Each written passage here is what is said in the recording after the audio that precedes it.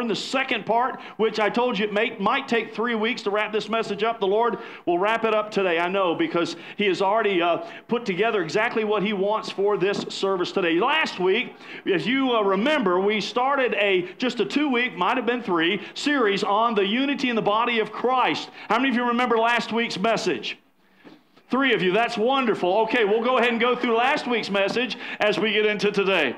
Last week's message, as we began, we talked about unity in the body of Christ. We talked about how that we live in a time today where unity is one of those words that's not used.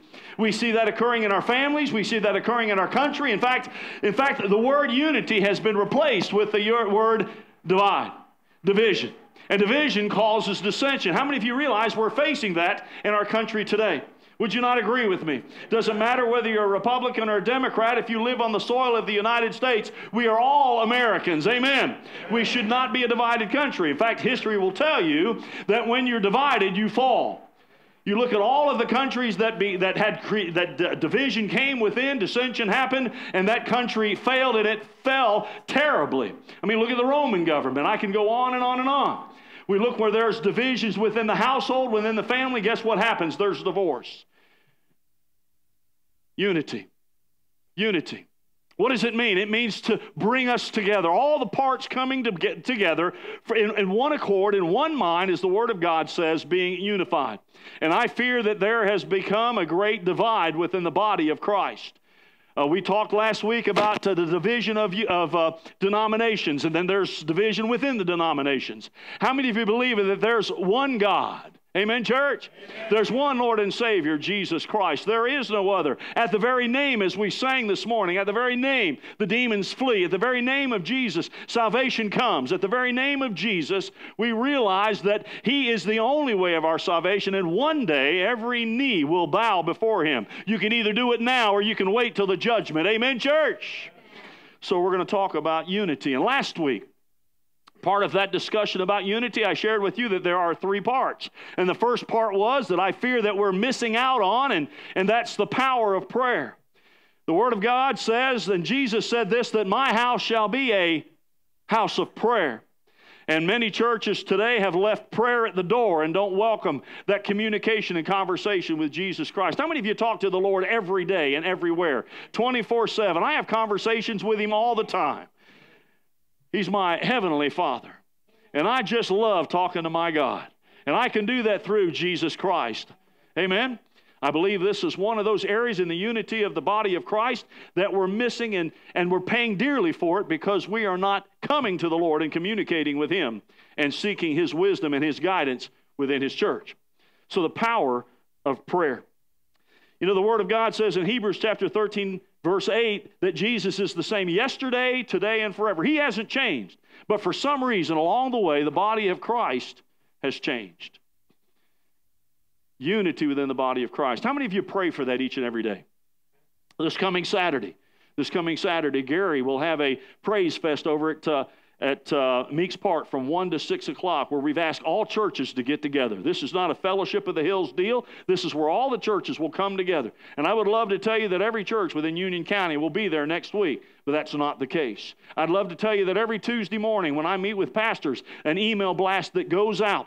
Brother David sends that out every week with a reminder on Monday evening. Goes out to all the pastors within this area. And there's usually the same four or five that show up every Tuesday morning at 8 o'clock at Chick fil A. Wouldn't it be great that one day we would walk over there and we say this prayer every every uh, Tuesday as we leave? Wouldn't it be great one Tuesday if we showed up in cabin call, excuse me, and uh, Chick Fil A was packed with the pastors in Union County, with one accord, seeking God's guidance and wisdom for those flocks that He has commanded us to oversee. Wouldn't that be a great thing? Wouldn't it be a great thing to see that happen throughout the state of Georgia, throughout the United States, throughout the world, where those that claim to know Jesus Christ as their Lord and Savior would unite under the banner of the cross and we would see unity take place within the church? Would that be a great thing? So it begins with prayer. It begins with prayer. Well, as I thought about that, and the Lord was taking us to this message, just for a quick recap, remember what the Apostle Paul shared with us in Ephesians chapter 1 excuse me, chapter 4, verses 1 through 6. And again, I'm going to ask you to follow along. I've got several scripture for you this morning that the Holy Spirit is taking to. As a recap from last week, Paul said this to the church of Ephesus, Therefore, I am a prisoner of the Lord, a bondservant of the Lord, one that is willing to serve the Lord, sold out to him to go and to do whatever Jesus Christ would call and command us to do. And he talks to us. He says, I implore you to walk in the manner worthy of your calling, which you have been called, with all humility and gentleness and patience, showing tolerance for one another in love, being diligent to preserve the unity of the Spirit in the bond of peace. Therefore, there is one body, one Spirit, just as you were called in one hope of your calling, one Lord, one faith, one baptism, one God and Father, all of all, who is over all and through all and in all. As a follower of Jesus Christ, we serve one God. Amen, church? And we're to be united in the bond body of the Christ, in the bond of Jesus Christ. So, that first part we talked about last week was prayer. In fact, I gave you a key verse that I said keep with you for the rest of the week. It's the, out of the, the first church there in Acts chapter 1, verse 14. It says, These all with what? One mind with one mind. They were continually devoting themselves to prayer, continually devoting themselves to prayer. I've shared with you on Wednesday night that we have a time of prayer. It's called No Agenda Prayer. We come here without any uh, formal outline of what the Holy Spirit's going to do. We allow the Holy Spirit to direct us. We gather in that back corner back there as some of the other Bible studies are taking place just for a time in the power of prayer, seeking God's guidance and wisdom for His people and for His church to be in one mind, in one accord.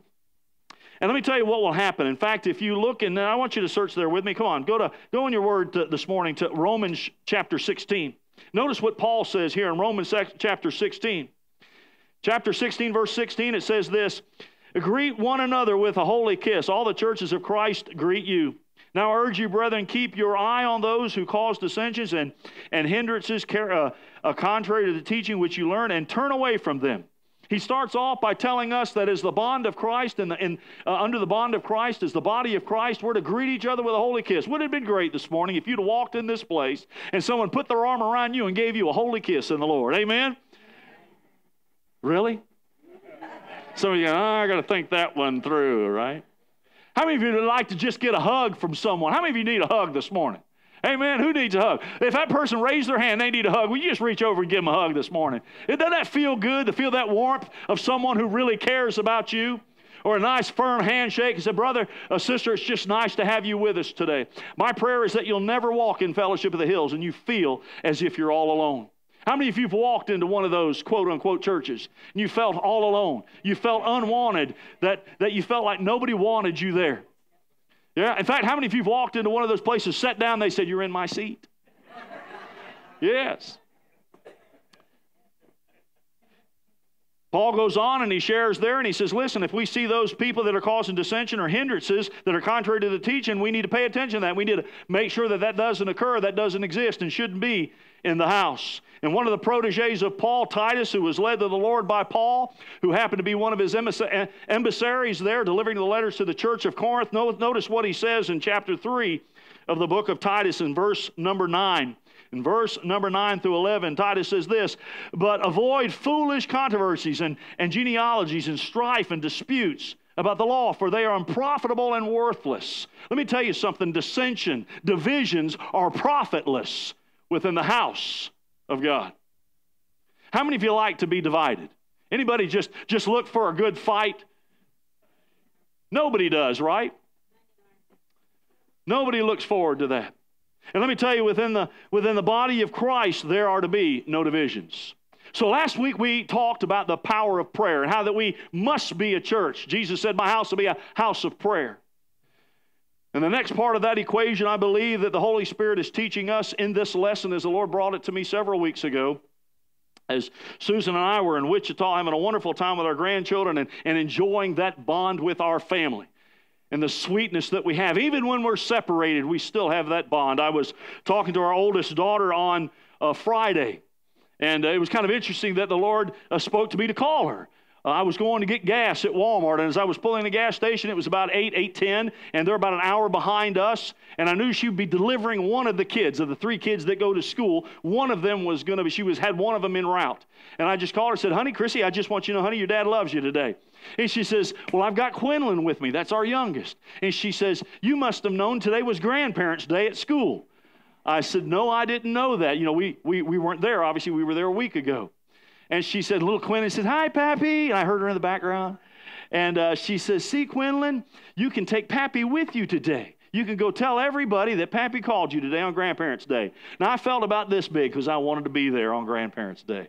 But wasn't it a blessing that even when we're at a distance, that bond of family, that unity with family exists?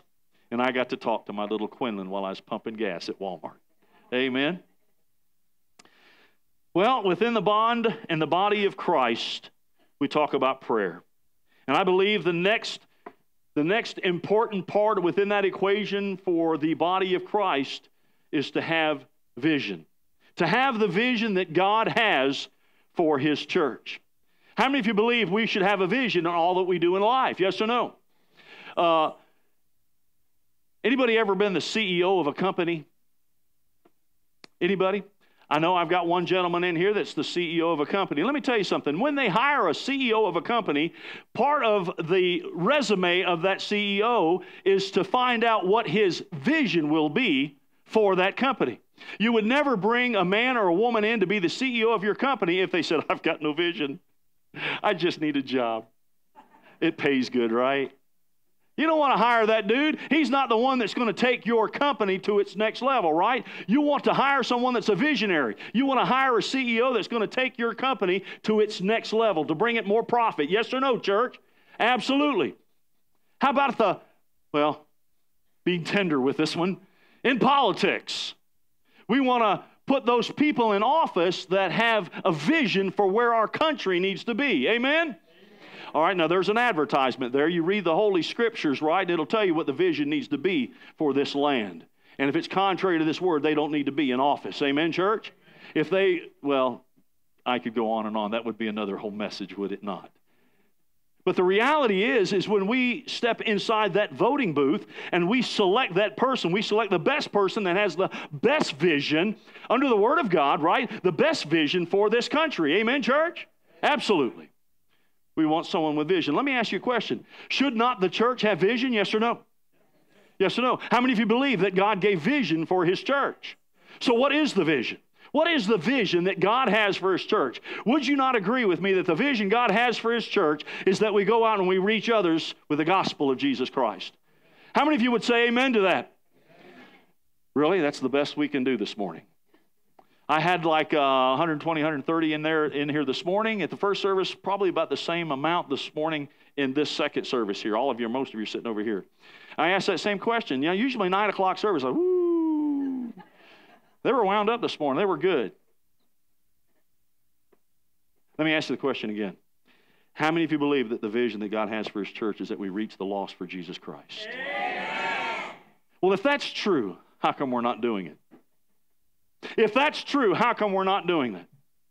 How come we don't have a passion and a compassion to go and reach the lost? If that's his vision, how come we don't have that passion and compassion to reach the lost for Jesus Christ? In fact, I want you to notice something here. If you will, turn with me, mark it down. Follow along. This is what Jesus said in Matthew chapter 9, verse 36 through 38. Notice what Jesus said. He says, Seeing the people now, when you leave this morning, I want you to notice something. When you leave this house this morning, you're going to see a majority of people, not just today, but the remainder of the six days of the week. They'll come from all walks of life. You may have one that comes to your house because there's a need, and I'm going to share my testimony with you of what happened this past Wednesday. Jesus says, when you see the people, notice this, he says, seeing the people, Jesus, he felt compassion for them. How many of you have compassion for others? How many of you have compassion for the lost? We have them within our families, do we not? Yes or no, church? How many of you want to see every one of your family members die and go to hell? Come on, let me see your hand. Raise your hand real quick. You say, Marty, that's a pretty cruel thing to say. Well, let me ask you a question. When was the last time you shared Jesus with them? You may be the only voice they'll ever listen to. How many of you want to see that man at Walmart or that man and woman that uh, you, you, you, uh, you have serve you at one of the restaurants? How many of you say, Well, Pastor, I want to see them die and go to hell? You say, Well, Pastor, that's a mean thing to say. Well, let me ask you this question When was the last time you had a passion and a compassion to share Jesus with them? Jesus said, I see the people. And Jesus had compassion. Said he felt compassion for them because they were what? Distressed and dispirited. They were like sheep without a shepherd. Let me tell you what, we have a lost world. I told you last week one of the most difficult things for me to pray for is my enemies. Praying sometimes for some of these politicians is hard for me to swallow, I got to be honest with you. But the Word of God commands me to do it. Commands me to pray that their heart will be changed.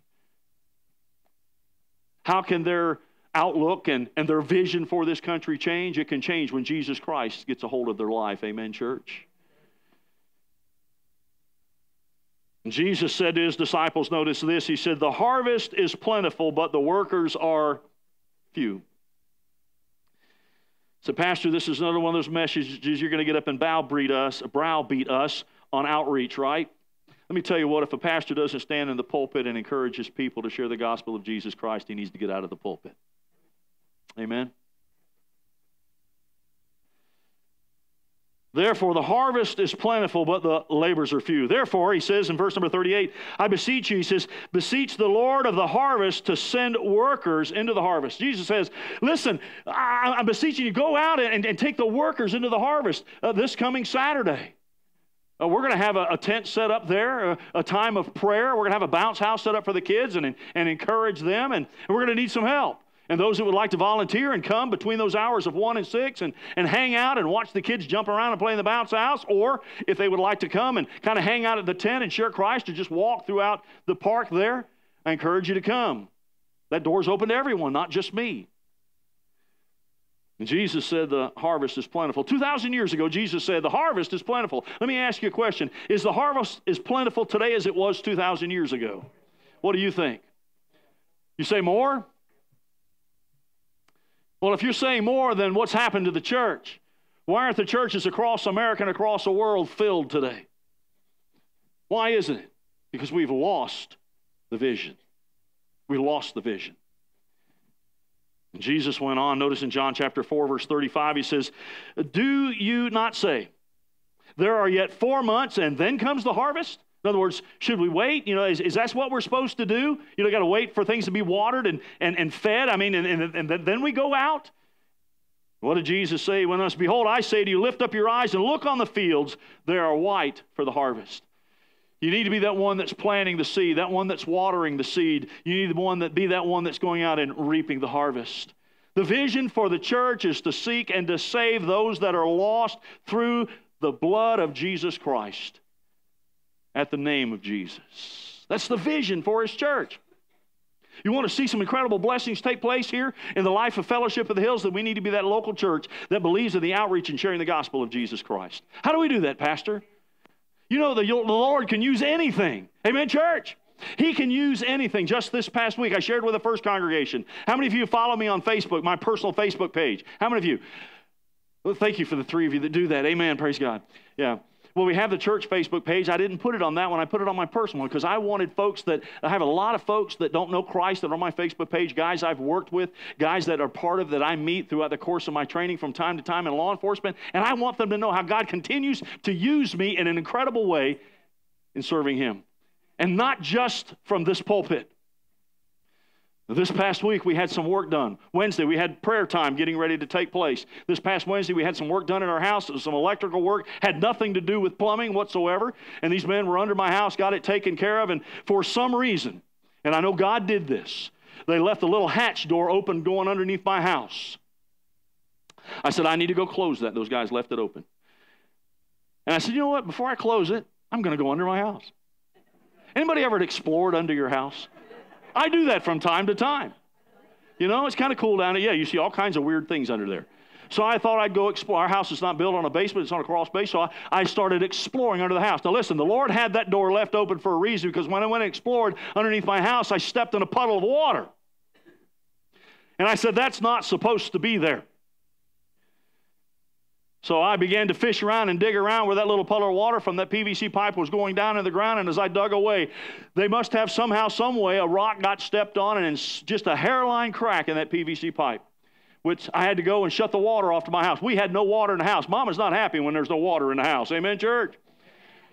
So I now have to call a plumber. I called the guys, you know, these, these guys are electricians. They, this wasn't their deal, and they apologized for it, and you need to get it fixed, Marty. So I said, You're right. So I called a plumber. And I've got church coming up. Got no agenda prayer coming up that night. I ain't got time. This is about 3 o'clock in the afternoon. And thank the Lord that the young man that I called that owns a plumbing company locally, he sent one of his men out ASAP. I had never met this man before. He's a young man. He's married. He has a child. I found this all out while we were sitting up underneath the crawl space of my house. This young man came out. I told him I'd already had it dug out. I already got the water turned off. He said, Thank you. And I said, Listen, I said, I just need this fixed. He says, We're going to take care of it right now. So I went underneath the house with him. He had his can of glue and his hacksaw and a couple of pieces of pipe. I could have probably fixed it myself. But the price, I probably should have fixed it myself. but God had a reason and had a plan. I wasn't happy. In fact, let me ask you this question. How many of you had a, had a couple of things happen this week you're not happy about? Didn't go the way you wanted it to go, just wasn't cool, you know, right? How many of you believe that God allows these things to happen in our life because He wants to teach us something? Maybe He wants to use us, maybe He wants to put you someplace. You ever had your car break down? Anybody ever had your car break down? When was the last time you were roadside and the record showed up? Instead of getting angry, you looked at him and said, You know what, man? Things like this happen. That's just part of life. Can I share Jesus with you? You said, Marty, that's not the time. When is the time? Let me tell you what, I did not want a leak at my house. I didn't want that. I had things to do, I had a place I needed to be. I had to call Joel up. I said, Joel, listen, I don't know how long this is going to take. Can you handle no agenda prayer? And I love Joel. Joel says, I got it covered. And so here's what I did. This young man comes out. And he goes up underneath my house with his hacksaw, his can of glue, and his PVC pipe. And while we're underneath the house, he begins to share with me. We got nothing else to do. In fact, I thought it was kind of funny. As he put it all together, he, he looks at the can. He says, We got to let the glue dry. I'm, and of course, I'm thinking to myself, What's it cost to let glue dry?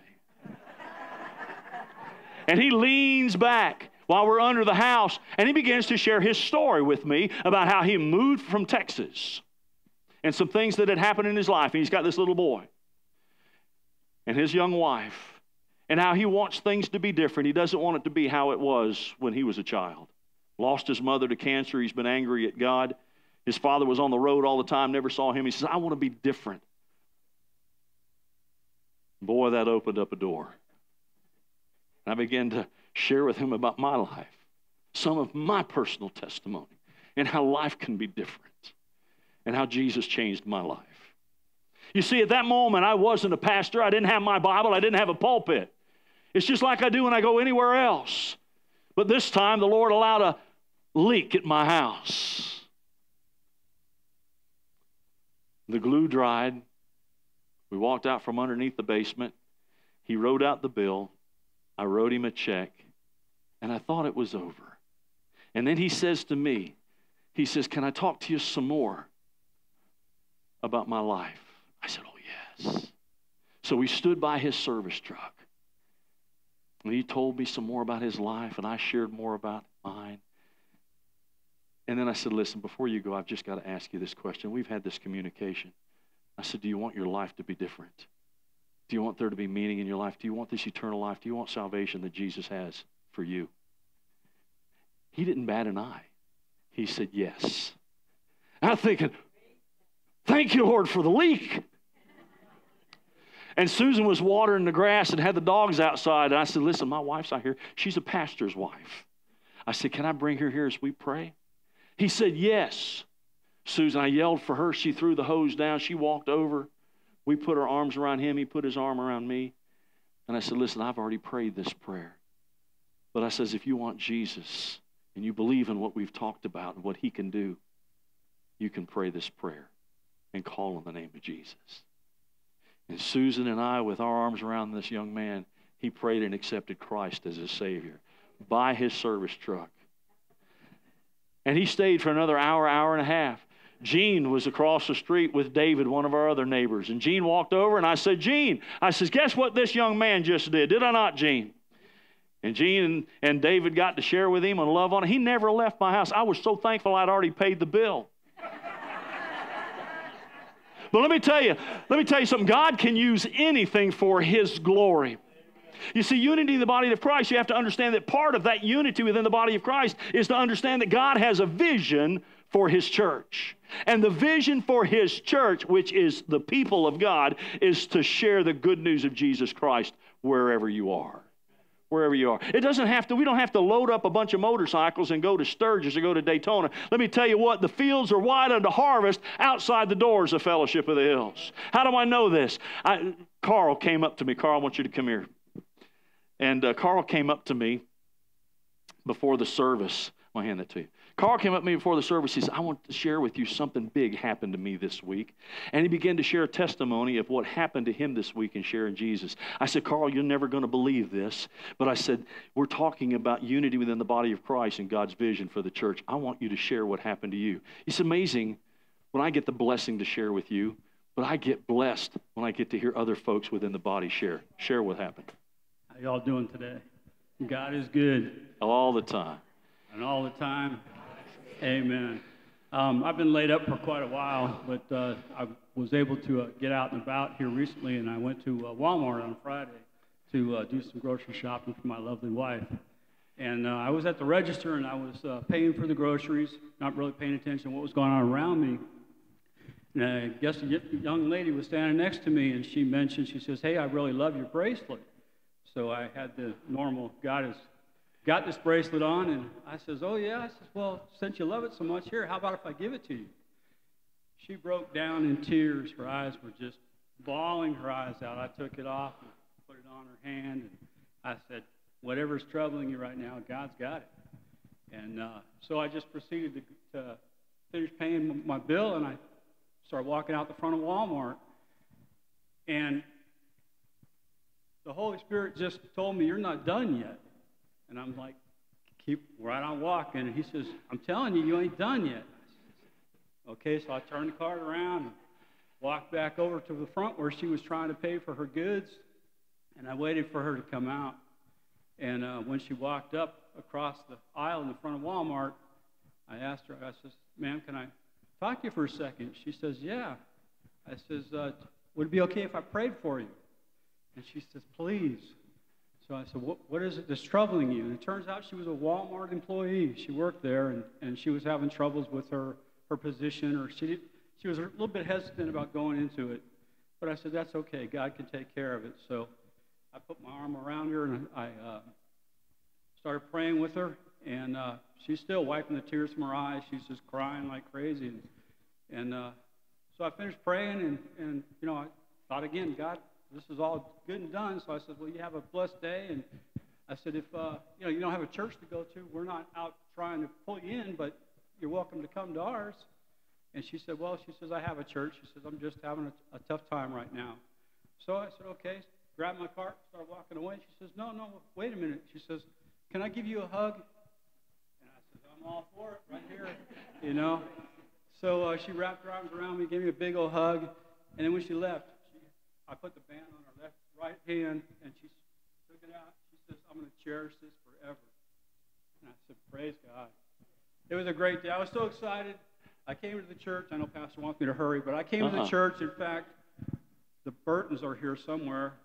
They were here, and I told them the story, but I was looking for Pastor. I had to tell Pastor, and they said, ah, he wasn't here. I was so excited. So I, God blessed her, and he blessed me just by taking that That's step right. to, uh, to reach out. So. Amen. So, yeah, give the Lord a hand for that. So, so, so can God use anything? How many of you believe, believe that everything that you do, everywhere you're at, God has ordained that as a special time for you to share the gospel with Him? Listen, today you're going to leave this house. As the, the group this morning, they're probably having brunch or breakfast somewhere, and I prayed, and the challenge to them was that no matter where you go, you can have the blessing and the opportunity of sharing Jesus Christ uh, as I shared with the group, we were late getting out of here last week and I had the blessing of going and having uh, dinner uh, over at a restaurant this past week, uh, this past Sunday, uh, and, and, and being with them and, and the young lady that we had an opportunity to share a bracelet with.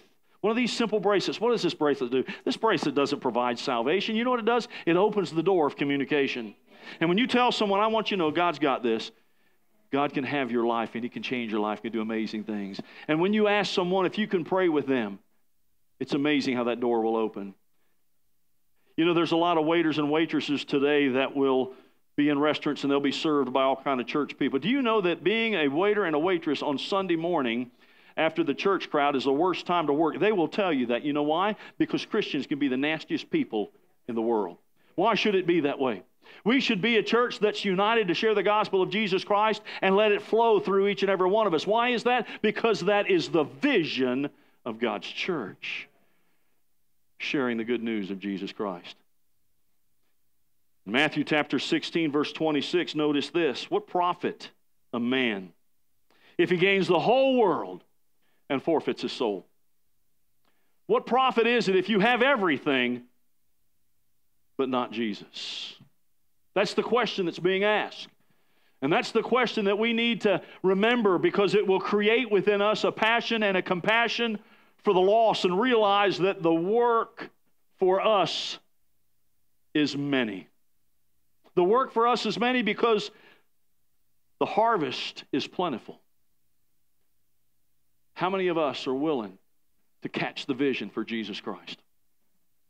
I look around this congregation as I saw the first one this morning, and I, I remember the vision that God gave Susan and I as we began to plant this church. And looking back, uh, it'll be 11 years, uh, October 6th.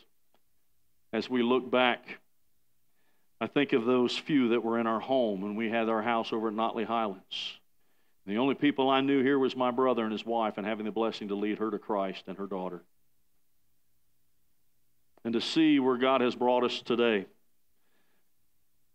to see the blessings of reaching others for Jesus Christ and those being baptized, to, to see the blessing of those who have been in churches some of their life and never having a relationship with Jesus Christ, but having a relationship with religion, to see what God has done. I wouldn't trade it for anything. As I look back on that, I, I do at times, the devil will say, You know, you could have had much more of this world. I remember when we first came here and the investment that was made financially for Susan and I as this church began. I remember needing some additional work to pay for the various things that needed to be taken care of and, and wondering how my retirement was going to take care of that. And the Lord provided work for me traveling. It was always amazing. The Lord always had me on a plane late on a Sunday and always back by Tuesday or Wednesday, just a couple of days a week, and meeting the provisions that He had for us and in the plan of this church. And I look back and I think sometimes the, the devil will try to remind us and say, listen, you could have had so much more. You see, I love the beach. I love the water. I love the mountains, but I just love the water. And maybe someday, I don't know, maybe the Lord will put me on a cruise ship as a pastor. I'm not sure about that. that might happen.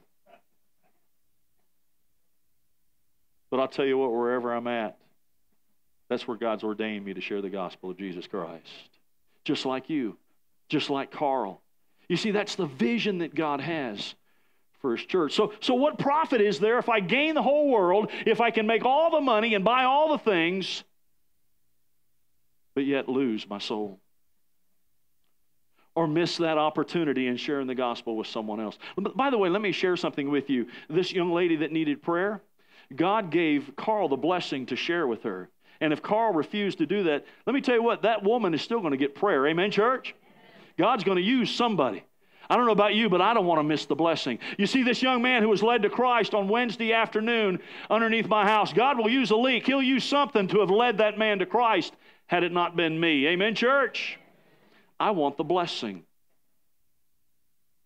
Well, not just the vision, but understanding that the unity of the church is in the power of prayer. It's in the vision of understanding what God has for His church and reaching the lost. And it's also understanding that in reaching the lost, that we must be a people of faith. A people of faith. Well, what is that? Romans chapter 1, verses 16 through 17, notice this. Paul said this I am not ashamed of the gospel. I'm not ashamed of the gospel, for it has the what, church? The power of God for salvation to everyone who believes, to the Jew first and also to the Greek. For in the righteousness of God is revealed from faith to faith, as is written, but the righteous man shall live by faith. Listen, we are a people of faith. Amen, church? Well, when, when, did the church lose that? When did the church lose its zest and its appeal and its desire to be a people of faith? I don't know about you, but I carry the banner of the cross at my home. I proudly wave Old Glory. Amen, church. I'm proud of being an American, and I'm proud of waving its flag. Even in a country today that we have a group of people that are trying to divide us and say that shouldn't wave the flag. Why shouldn't I wave the flag? I'm proud to be an American. I should never be embarrassed of being a Christian because it is my faith that I stand on. It is in the name of Jesus that I stand on. It's the name of Jesus that brings me salvation. It is the name of Jesus that I call on. The people of faith. Sadly, we have many who claim to know Jesus Christ say that they're part of the body of Christ, but they're ashamed to be called a Christian.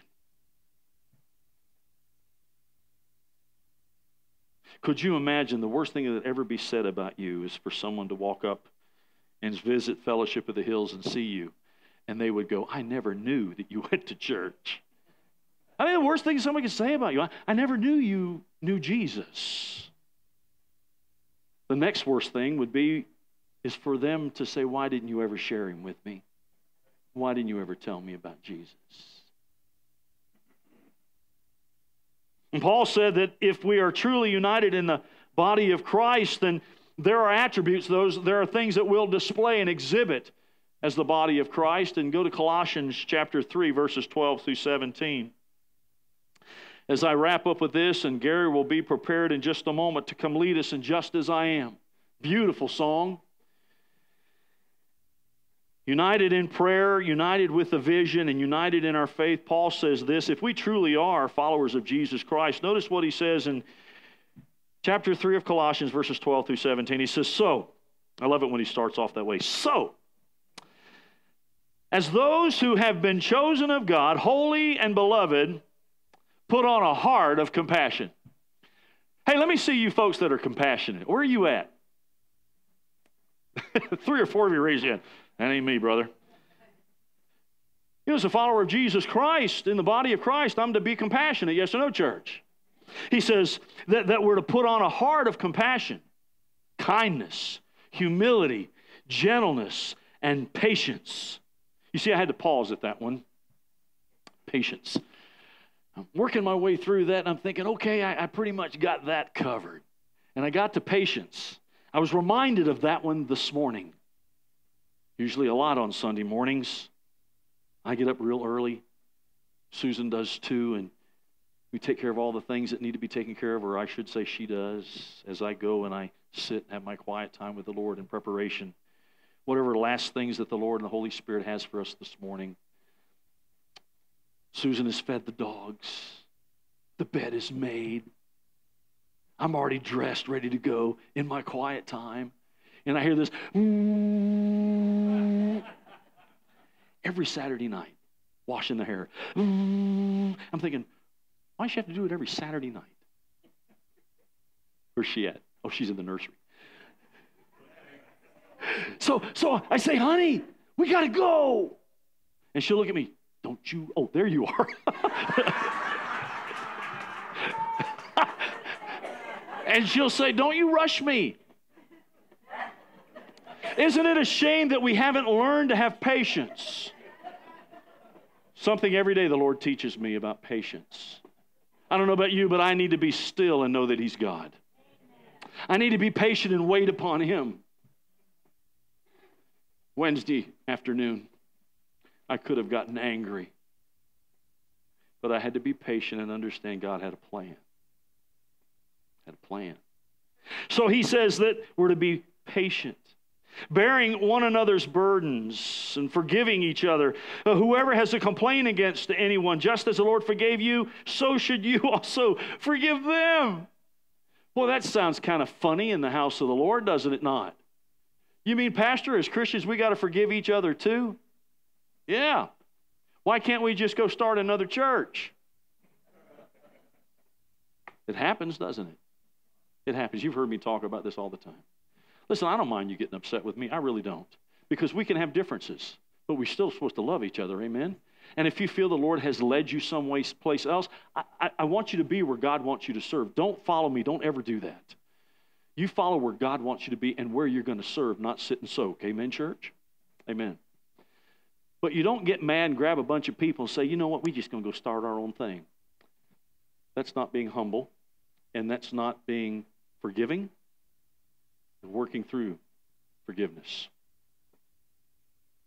Beyond all these, notice what he says put on love, which is what, church? The perfect bond of unity. Put on love. Isn't it amazing? He said, Beyond all these, put on love. You see, when you put on love, it captures all of that. You see, if you put on the bond of love, you can be patient with other people. You put on the bond of love, you can forgive others. When you put on the bond of love, when someone's going through a difficulty, you're there with them. You're praying with them and loving on them. Amen, church? When you put on the bond of love, it's not all about you. You know how to be humble. When you put on the bond of love, you have passion and compassion for other people. Amen, church. When you put on the bond of love, you even pray for your enemies.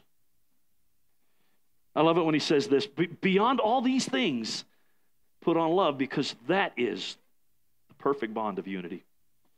Verse number 15, he says, Let the peace of Christ rule in your hearts. What's it say, church? Let it what? Rule in your hearts. In other words, let it have dominion, let it take over, let the peace of Christ take over your heart. To which indeed you were called in what church? Called in what? One body. Called in one body. And be thankful. How many of you are thankful for the person sitting next to you this morning? Yeah. How many of you are thankful for that person that sits on the other side of the church? He said, Well, Pastor, wait a minute. That's why I'm sitting here because they're over there right? When was the last time we were thankful? I love my beautiful bride back there. I love her. I'm thankful for her. Thankful. Oh, I know sometimes we don't show it. I don't know about you, but it'd be tough to do without her. Amen. She asked me that question the other day. And I thought of finances. No, no, I didn't know it. Let me, we joke around a lot. I think that's what keeps us so fresh with one another. We joke around a lot. I'm very thankful for her. She's God's blessing to me. I'm thankful for our children, thankful for our grandchildren. I'm thankful for you. More than anything, I'm thankful for the salvation I have in Jesus Christ. We sang those songs this morning. Worthy is the Lamb. You are holy. Verse 16 says, Let the word of Christ richly dwell within you. Richly dwell within you. I thought about that. You see, within the unity of the body of Christ, to, to understand for Jesus to richly dwell in me, I must be willing to be in His Word. That's more than just on a Sunday morning or Sunday morning and a Wednesday night to let it richly dwell within me. How else will I know what the blueprint for my life is if I don't open the book? I've got to be willing to be in the book. We have policy manuals and everything that we do. When I was with the patrol, we had this huge, it was, it was bigger than the Bible. We had this huge policy manual. It covered everything. Gene, I don't know if you remember, we had the very first policy manual. It told us how we were to sit down and eat, how we were supposed to take our hat off. Believe it or not, troopers know how to eat. And I'm talking more than donuts. Amen? It told us, did it not, Gene? It told us how to eat, how to hold our fork, how to, when we walked into a courtroom, how to take our hats off, how to make our shoes look. It told us everything. The Word of God has the blueprint for your life. We're to be richly dwelling in His Word. With all wisdom and teaching and admonishing one another in psalms and hymns and spiritual songs, singing with thankfulness in your heart to God. And then he wraps up with this notice this unity within the body of Christ, how we exemplify who we are in our faith. He says, whatever you do. Now, this is interesting. Don't miss this. He says, whatever you do, whether it is in how you speak, whether it's in your word or your deeds or your actions, okay, whatever you do, what's it say, church? Come on, what's it say? It's up on the screen. Do what? Do all in the name of the Lord Jesus, giving thanks through him to God the Father. So, unity in the body of Christ, unified in the power of prayer, unified in the vision that God has for His church in reaching the lost, and unified in our faith, and to exemplify who Jesus Christ is in us in everything that we say and everything that we do. As Gary comes and he begins to play that beautiful song, Just As I Am. You see, I mean, if you really think about it, those words are true. Just as I am. You see, you didn't have to come into this house today and wear certain clothes. We're all dressed differently. There was a time that I used to wear a coat and tie when I would stand behind this. I thought that that that you know I have to look a certain way. You know, they, they kind of teach you you got to look a certain way. This is who I am. I've joked around about, you know, there's going to be someday I'm going to get all scraggly looking.